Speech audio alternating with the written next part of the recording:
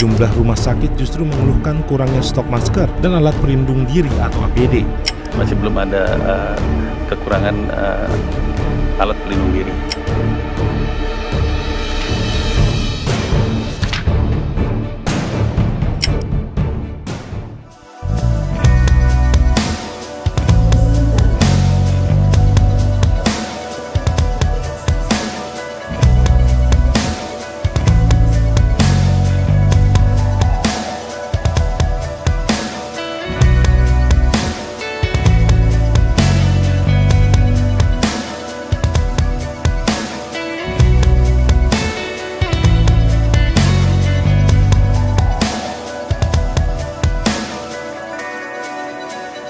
Percepatan penanganan pandemi